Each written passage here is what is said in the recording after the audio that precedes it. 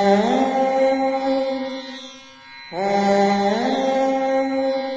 అందరికీ నమస్కారం. ఈ రోజు మనం పదిహేడు పది రెండు వేల ఇరవై ఒకటి ఆదివారం రోజున ఉన్నటువంటి పంచాంగ వివరణ గురించి తెలుసుకుందాం.